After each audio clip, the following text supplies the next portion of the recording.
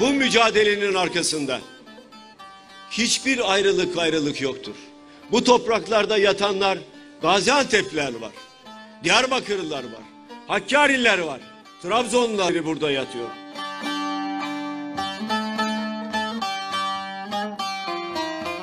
Onların kimliğini kimse sorgulamadı. Onların inançlarını kimse sorgulamadı.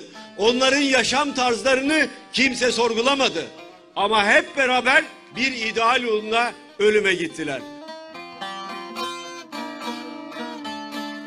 Çocuklarına, torunlarına daha güzel bir Türkiye bırakmak için. Biz onların mirasçıları olarak daha güzel bir Türkiye'yi çağdaş uygarlığın ötesine taşımak zorundayız. Bize verilen miras, bize verilen görev budur. Ve bu görevi yerine getirmek her birimizin namus borcudur.